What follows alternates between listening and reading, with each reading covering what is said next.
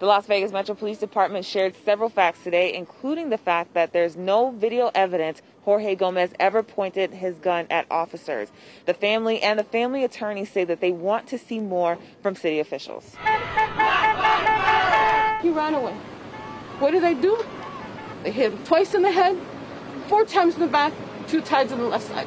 Jeannie Lara, mother of Jorge Gomez, tearfully remembers June 1st, 2020. That's the day her son was shot and killed by Las Vegas Metro Police Department officers during a Black Lives Matter protest. This is not a trial. The purpose of today's proceedings is to present the public with the essential facts surrounding the death of Mr. Gomez. On Friday, Detective Jason Leavitt, the lead investigator in Gomez's death, presented facts of the case to the public, including why there was no body camera footage of the shooting. His team had been placed in uniform because of the uh, uh, protests and the civil unrest that was occurring. Uh, but since he is not a daily uniformed officer, he was not assigned a body worn camera and was not wearing a body worn camera during this incident. Leavitt says none of the four officers directly involved in the shooting were wearing body cameras, but all stated they shot Gomez after he pointed a gun at them. Applicable charges had Mr. Gomez survived that night, he would have been charged with assault with a deadly weapon on a protected person, four counts, uh, CCW, or carrying a concealed weapon, as well as possession of a short barreled rifle. However, when you watched the video evidence in this case, did you see Mr. Gomez level a rifle? I did not.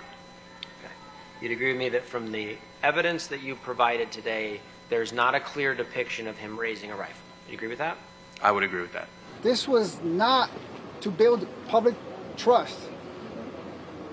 This was more of a circus than anything, and it's it's it's it's embarrassing. It's shameful. Attorney for the Gomez family, Rodolfo Gonzalez, says there is still a long way to go in making sure Gomez gets justice. The Gomez family does not deserve this. They don't get they don't deserve to be kicked continuously time and time again. They deserve dignity, they deserve respect, they deserve more than anything honesty. Our community deserves honesty. We didn't get that today. In Kira Kazuka, Fox 5 News, local Las Vegas. On the same night, just a few minutes before this incident, there was another shooting involving Metro Police. One of the officers was hit by gunfire. Officer Shay Mikalonis was left paralyzed after a man not part of the protest shot into the crowd of demonstrators.